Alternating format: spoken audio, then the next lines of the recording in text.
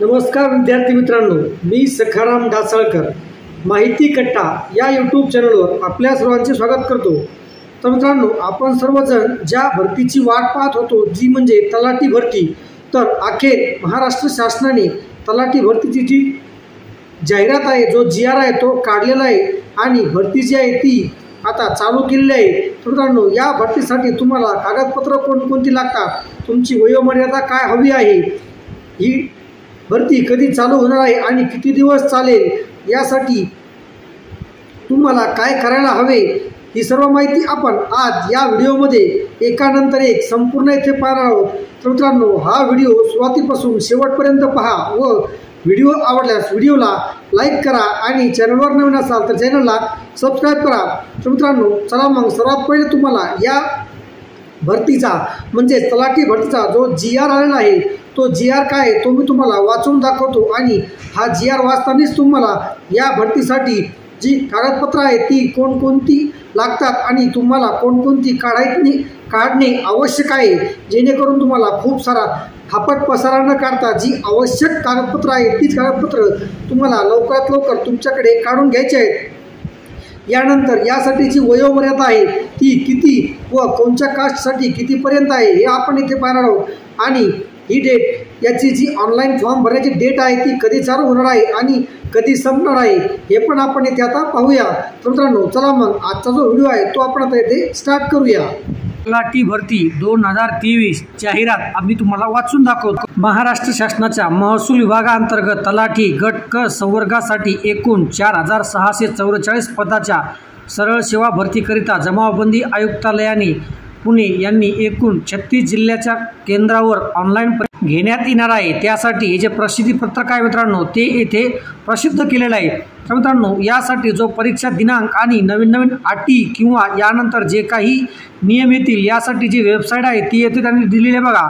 Mahabhumi dot G O V dot in या संकेतस्थळावर उपलब्ध करून देण्यात येईल. तसेच उमेदवारांच्या प्रवेशपत्राबाबत सुद्धा येथेच तुम्हाला माहिती दिली जाणार आहे. आणि हीच लिंक ओपन करून तुम्हाला ऑनलाईन फॉर्मसुद्धा जो आहे तो भरायचा आहे. तर मित्रांनो एक वेळ अवश्य या लिंकला भेट देऊन नवीन काही नियमो अटी आल्या असतील तर त्या पाहून घ्या. तर मित्रांनो चला आपण आता वेबसाईट पाहिली आहे. यानंतर आता जी वयोमर्यादा काय आहे ते आपण इथे पाहूया. व शैक्षणिक पात्रता काय लागणार आहे हे पण आपण आता येथे वन बाय वन येथे पाहूया. आता आपण पाहूया या पदासाठी म्हणजे तलाठी पदासाठी जी आवश्यक कागदपत्रं आहेत ती कोणकोणची आहेत ते आता एकानंतर एक मी तुम्हाला ते सांगतो. तर मित्रांनो तलाठी भरतीसाठी अर्ज केलेला उमेदवार हा महाराष्ट्राचा रहिवासी असावा. त्याच्याकडे राज्याचे आदिवास प्रमाणपत्र असणे गरजेचे आहे. तर मित्रांनो आदिवास प्रमाणपत्र कसे काढायचे यावर आपण सविस्तर व्हिडिओ बनवलेला आहे. तो व्हिडिओ आपल्या डिस्क्रिप्शन बॉक्समध्ये दिला आहे. तेथे क्लिक करून नक्की पहा. मित्रांनो आदिवास प्रमाणपत्र हाच तुमचा जन्मदाखलाचा पुरावा आणि नॅशनॅलिटी व रहिवासी असे मिळून दोन नंबरचा जो पुरावा आहे तोच जे तुम्हाला ग्राह्य धरला जाणार आहे. त्यानंतर उमेदवाराने अर्ज केला अथवा विहित अर्थ धारण केलेले परीक्षेचा बोलण्याचा अथवा नियुक्तीचा हक्क प्राप्त झाला असलेला नसावा. त्यानंतर मित्रांनो तुम्ही आरक्षित मागास प्रवर्गाचा दावा करणारा उमेदवार असेल तर त्याचे तुम्हाला जे जात प्रमाणपत्र आहे ते सोबत लागणार आहे. आणि जात प्रमाणपत्रासोबतच तुम्हाला जात वैधता प्रमाणपत्र म्हणजेच तुम्हाला कास्ट व्हॅलिडिटी पण येथे लागणार आहे. तर मित्रांनो कास्ट सर्टिफिकेट आणि कास्ट व्हॅलिडिटी कशी काढायची यावर पण आपण सविस्तर व्हिडिओ बनवलेला आहे. या व्हिडिओची लिंक पण मी डिस्क्रिप्शन बॉक्समध्ये देऊन ठेवली आहे. तेथून तुम्ही तो व्हिडिओ ओपन करून ते डॉक्युमेंट्स कसे काढायचे हे पाहू शकता. तर मित्रांनो यानंतर आपल्याला जे डॉक्युमेंट्स लागणार आहे त्याचबरोबर आता आपली जी शैक्षणिक पात्रता आहे यानुसार आपले जे डॉक्युमेंट्स आहे ते इतर डॉक्युमेंट्स आपल्याला इथे लागणार आहेत. तर मित्रांनो जाहिरातीनुसार तुम्ही कोणत्याही शासन मान्यता प्राप्त एका विद्यापीठाचे पदवीधर म्हणजेच तुमच्याकडे एक डिग्री असणे आवश्यक आहे. जर तुमच्याकडे डिग्री नसेल तर समकक्ष तुम्ही इतर काही येथे जोडू शकता. त्यानंतर मित्रांनो मराठी भाषेचे ज्ञान आवश्यक आहे. म्हणजेच तुम्हाला मराठी लिहिता वाचता व बोलता येणे हे पण गरजेचे आहे. म्हणजेच तुम्ही दहावी व बारावीमध्ये मराठी विषयासह पास झालेले आवश्यक आहे. बघा माध्यमिक शालांत परीक्षेत मराठी हिंदी विषयाचा समावेश नसल्यास निवड केलेल्या उमेदवारांना तथ्यर्थ मंडळाची मराठी हिंदी भाषा परीक्षा उत्तीर्ण होणे पण आवश्यक आहे.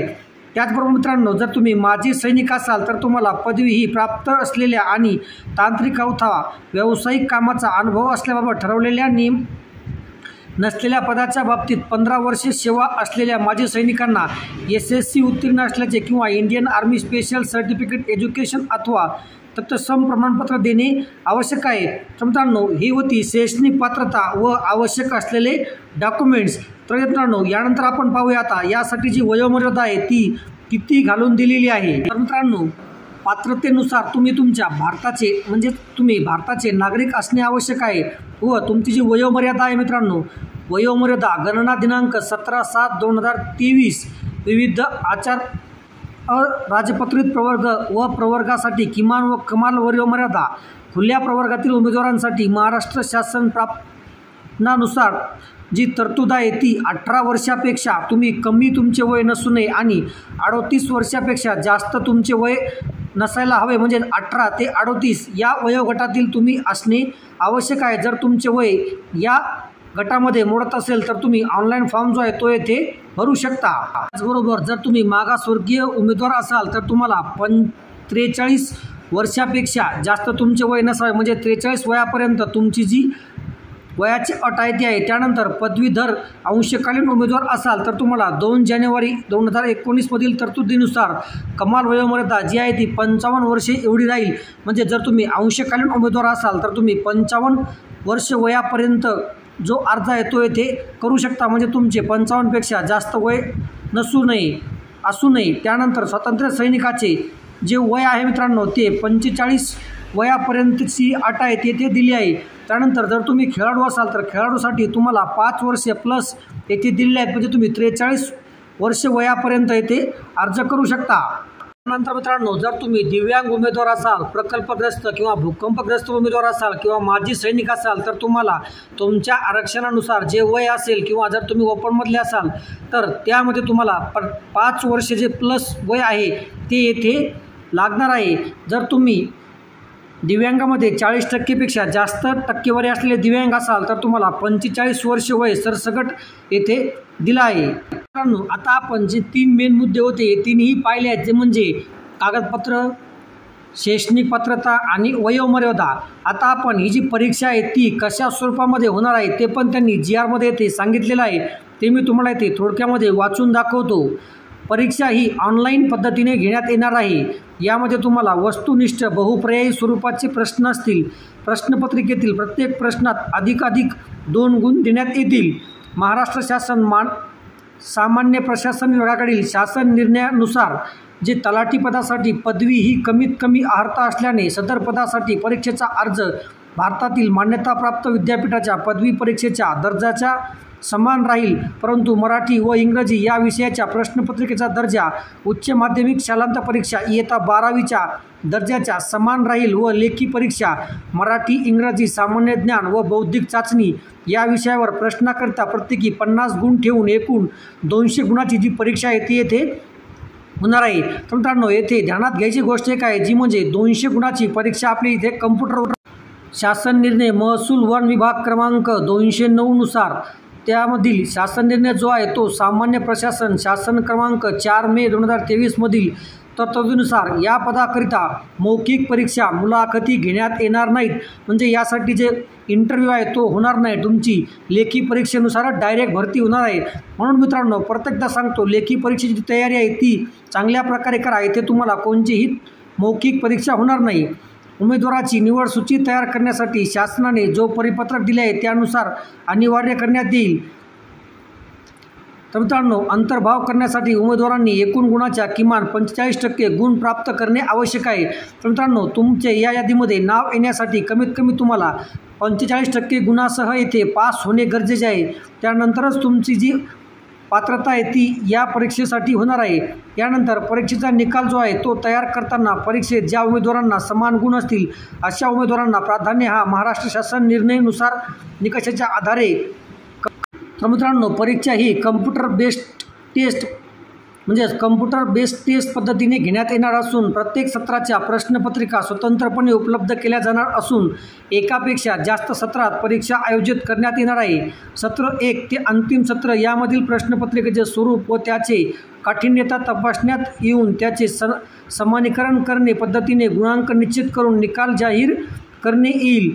याबाबत टी सी एस कंपनीकडून देण्यात आलेले सूत्र वेबसाईटवर माहितीसाठी प्रकाशित केले आहे. सदर सर्व परीक्षार्थी यांनी बंधनकारक राहील याची सर्व परीक्षार्थींनी नोंद घ्यावी. आता आपण पाहूया की ऑनलाईन अर्ज भरते वेळेस तुम्हाला कोणकोणती कागदपत्र जी आहेत ती अपलोड करायची आहेत.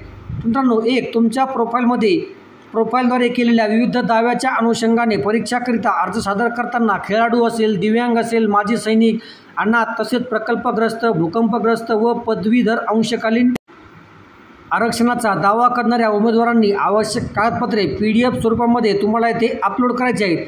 यामध्ये मित्रांनो बघा प्रमाणपत्र आवश्यक जे आहे अर्जातील नावाचा पुरावा म्हणजेच एस एस सी प्रमाणपत्र म्हणजे तुम्हाला तुमचे दहावीचे मार्कशीट जे आहे ते येथे अपलोड करायचे आहे. यानंतर तुमच्या वयाचा पुरावा तुमच्या वयाचा पुरावा तुम्ही येथे आधार कार्ड देऊ शकता. त्यानंतर शैक्षणिक अर्हता इत्यादीचा पुरावा म्हणजे तुमची जी डिग्री आहे ती डिग्री तुम्हाला इथे अपलोड करायची आहे म्हणजे तुमची मार्कशीट येथे अपलोड करायची आहे. सामाजिकदृष्ट्या मागासवर्गीय असल्याबाबतचा पुरावा म्हणजे तुमचे कास्ट प्रमाणपत्र तुम्हाला येथे द्यायचे आहे. यानंतर आर्थिकदृष्ट्या दुर्बल घटक असल्याबाबतचा पुरावा तुमचे ई डब्ल्यू एस प्रमाणपत्र ओपनच्या विद्यार्थ्यांसाठी ई डब्ल्यू एस प्रमाणपत्र येथे जोडायचे आहे.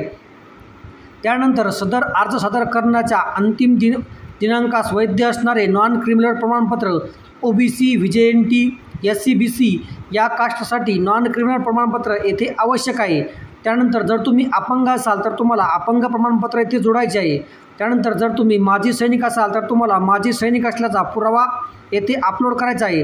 त्यानंतर तुम्ही खेळाडू असाल तर तुम्हाला खेळाडूचा पुरावा येथे अपलोड करायचा आहे. त्यानंतर तुम्ही जर अनाथ असाल तर तुम्हाला अनाथ असल्याचे प्रमाणपत्र येथे जोडायचे आहे. त्यानंतर जर तुम्ही प्रकल्पग्रस्त असाल तर तुम्हाला प्रकल्पग्रस्ताचा पुरावा येथे द्यायचा आहे. भूकंपग्रस्ताचा पुरावा द्यायचा आहे.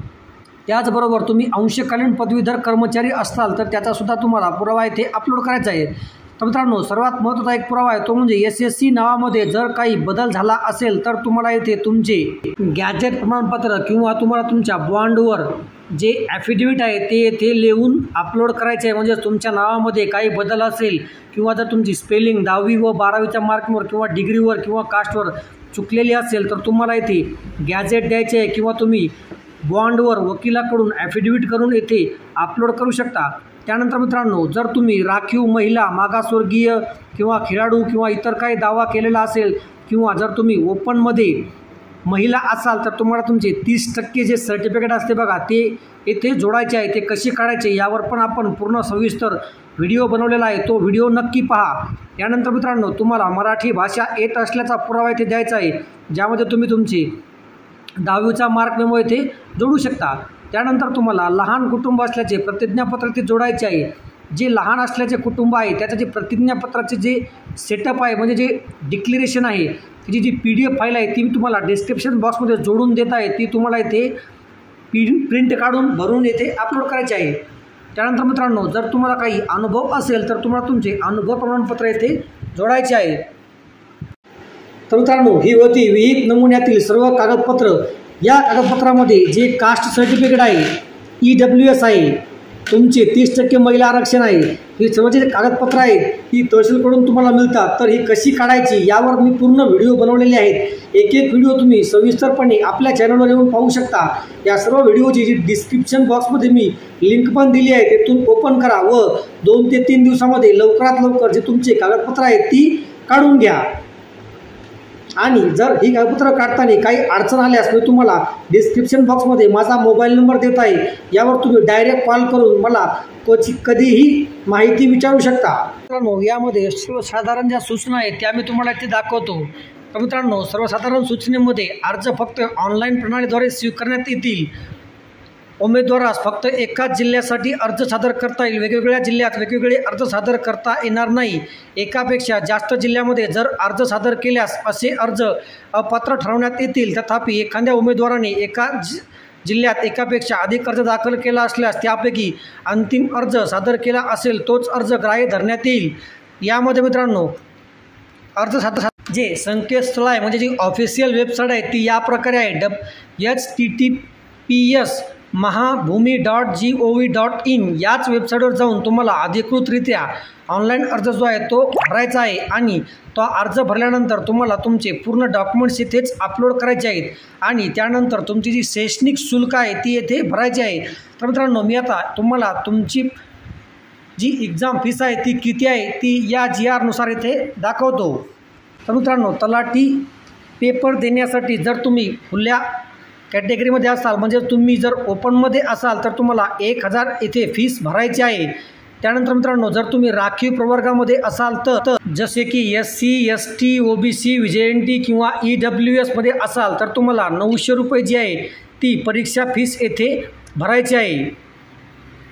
तर मित्रांनो ही जी परीक्षा फीस आहे ती तुम्हाला नॉन रिफंडेबल आहे. म्हणजेच तुम्ही कितीही अर्ज केल्यास तुम्हाला सर्व अर्जासाठी जी फीस आहे ती भरावं लागणार आहे. आणि जर तुमच्या अर्जामध्ये काही चूक झाली किंवा तुम्हाला जर बाद करण्यात आले किंवा तुम्हाला या मध्ये निवड जर झाली किंवा नाही झाली तरीही तुम्हाला ही जी फीस आहे ती परत मिळणार नाही. म्हणजेच रॉन नॉन रिफंडेबल ही जी फीस आहे ती येथे आहे. अर्ज सादर करण्याचे टप्पे पूर्ण झाल्यावर उपलब्ध होणाऱ्या सबमिट बटनावर क्लिक केल्यानंतर पे फीस नावाचे बटन दिसेल. यावर तुम्हाला क्लिक करून जी ऑनलाईन फीस आहे ती भरायची आहे जी तुम्ही क्रेडिट कार्ड डेबिट कार्ड किंवा किंवा नेट बँकिंगद्वारे तुम्ही तुमची जी फीस आहे ती ऑनलाईन फॉर्मची येथे भरणा करू शकता. मित्रांनो आता यानंतर शेवटचा टप्पा आहे जो की खूप महत्त्वाचा आहे. आपण जी सर्व माहिती पाहिली होती या माहितीनुसार ऑनलाईन अर्ज सादर करण्याचा जो कालावधी आहे तो किती आहे? म्हणजेच ऑनलाईन फॉर्म जो स्टार्ट होणार आहे तो उद्या उद्या दिनांक सव्वीस सहा दोन हजार तेवीसपासून चालू होणार आहे. तर सत्तावीस सात दोन हजार तेवीस दु रात्री बारा वाजेपर्यंत ऑनलाईन चालणार आहे. यानंतर मित्रांनो त्याच कालामध्ये तुम्हाला जे ऑनलाईन पेमेंट आहे ते तुमचे पूर्ण करून घ्यायचे आहे.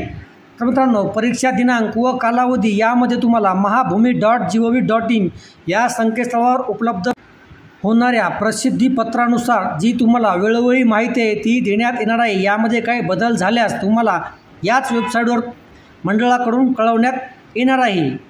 यानंतर मित्रांनो जे तुमचे प्रवेशपत्र आहे म्हणजे तुमचे हॉल तिकीट आहे ते परीक्षा ज्या दिवशी असेल त्या दिवसाच्या दहा दिवस अगोदर तुम्हाला तुमच्या लॉग इनमध्ये ते डाउनलोड करण्यासाठी जे बटन आहे ते दिले जाणार आहे. तर मित्रांनो परीक्षेच्या वेळी उमेदवाराने स्वतःचे प्रवेशपत्र प्रमाणपत्र आणणे सक्तीचे आहे.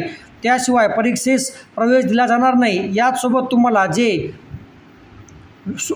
डॉक्युमेंट्स म्हणजे जे ओळखपत्र आहे त्यामध्ये तुम्ही पॅन कार्ड असेल पासपोर्ट असेल किंवा आयोगाने दिलेले जे ओळखपत्र असेल मूळ प्रमाणपत्र तुम्हाला इथे सोबत जोडायचे आहे. आधार कार्डच्या ऐवजी भारतीय विशिष्ट ओळखपत्र यू आय डी आयच्या संकेतस्थळावरून डाउनलोड केलेले ई आधार सादर करणाऱ्या उमेदवारांच्या बाबतीत ई आधारवर उमेदवाराचे नाव पत्ता लिंक फोटो जन्मदिनांक या तपशिलासह आधार निर्मितीचा दिनांक व आधार डाउनलोड केल्याचा दिनांक असल्या तसेच स्पष्ट फोटोसह रंगीत प्रिंटमध्ये आधार कार्ड डाउनलोड केल्या असल्यासच तुम्हाला इथे वैध मानण्यात येईल. म्हणजे तुम्हाला छोटे आधार कार्ड येथे चालणार नाही. तुम्हाला आधार कार्डची जी ऑनलाईनची प्रिंट आहे ती पूर्ण प्रिंट तुम्हाला तुमच्यासोबत येथे न्यायची आहे. हॉल तिकीटसोबत मित्रांनो तुम्हाला यापैकी एक डॉक्युमेंट्स तुम्हाला सोबत न्यायचे मित्रांनो आधार कार्डविषयी तुम्ही परत एकदा जो जी आर आहे तो पाहून घ्या कारण खूप महत्त्वाचा आधार कार्डविषयी नियम आहे तुम्हाला छोटे आधार कार्ड चालणार नाही. ओरिजिनल ई आधार कार्ड असेल तर तुम्हाला पूर्ण आधार कार्ड कलरमध्ये हवे तुमच्यासोबत तर मित्रांनो हा सविस्तर जी आर तुम्ही स्वतः डाउनलोड करा व परत एकदा वाचून घ्या.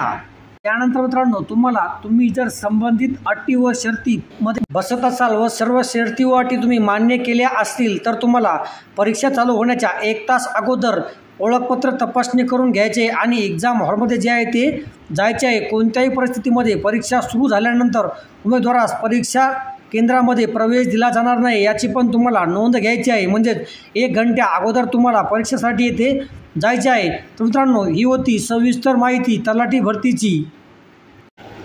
तर मित्रांनो ही होती स तलाठीची जी जी आर निघलेला आहे किंवा जी भरती होणार आहे त्याविषयी सविस्तर माहिती. तर मित्रांनो यामध्ये जर तुम्हाला काही जर समजले नसेल तर ते तुम्ही आम्हाला कमेंटमध्ये विचारा व डायरेक्ट माझा मोबाईल नंबर पण मी इथे दिलेला आहे. त्यावर तुम्ही कॉल करून आम्हाला माहिती विचारू शकता व जर तुम्हाला काही डॉक्युमेंट्स काढण्यामध्ये समस्या येत असतील तर त्या पण तुम्ही मला विचारू शकता. मित्रांनो सर्वात मोठी समस्या जी येते ती म्हणजे नॉन क्रिमिनल आणि महिलांचे तीस टक्के आरक्षण. या दोन गोष्टीवर पण आपण आपल्या चॅनलवर पूर्ण व्हिडिओ बनवलेला आहे. तो सविस्तर व्हिडिओ नक्की पहा आणि ती डॉक्युमेंट्स अवगत अगोदर लवकरात लवकर तुमच्याकडे काढून घ्या. धन्यवाद मित्रांनो भेटूया सव्वीस तारखेला ज्यावेळेस ऑनलाईन फॉर्म चालू होईल तो ऑनलाईन फॉर्म कसा भरायचा हे आपण आपल्या चॅनलवर लवकरात लवकर व्हिडिओ इथे अपलोड करणार आहोत. त्या अगोदर बघा तुम्हाला छोटीशी जी ऑनलाईन फॉर्म भरण्याची वेबसाईट आहे ती ते झलकमध्ये मी दाखवतो आणि हा व्हिडिओ संपला असे जाहीर करतो.